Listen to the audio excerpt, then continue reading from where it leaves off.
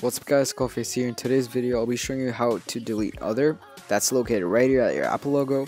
Click about this Mac and click storage. As you see, it's right here other and you probably don't even know what's taking up all the space.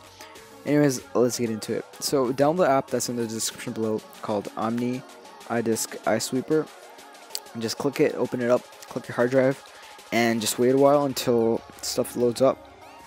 So everything you see here is basically the waste files. It's just a bunch of files in your Mac Pro. Don't worry about it. So say that you got a lot of applications, you want to delete some, right? And you can get in depth of your details of how much space it's taking up. So you can personally delete it here because it's going to be more precise with the apps and stuff and all your files.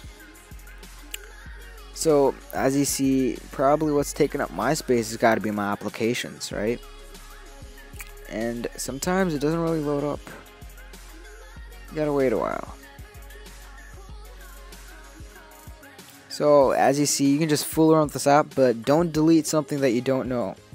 Because it might damage some parts of your computer and it might be the end of your world. So there's gonna be another file here that says user and you can delete things from your account. So basically, check this app out. This really does help. Thanks for watching, guys. Peace out. Have a great day.